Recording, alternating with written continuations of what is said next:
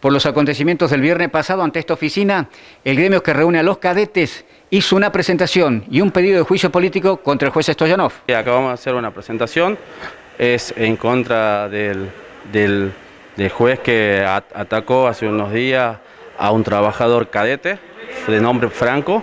Eh, nos parece que es una acción que, que debe ser analizada en la legislatura por la Comisión de Juicio Político. Me parece que es una, acción desmesurada, poco razonable, me parece que no tiene justificativo, me parece que este juez no hace honor a la investidura que reviste, me, me, parece que es un hecho, un mal ejemplo para la sociedad, para la justicia, para todos. Queremos que se analice en la comisión y creemos que hay bastantes pruebas para pedir la destitución de un juez que está en un área sensible de la justicia. ¿Pero qué pasó? Según lo que cuenta Franco, pudimos saber que él iba transitando, tuvo un altercado con este juez, que él no sabía que era juez.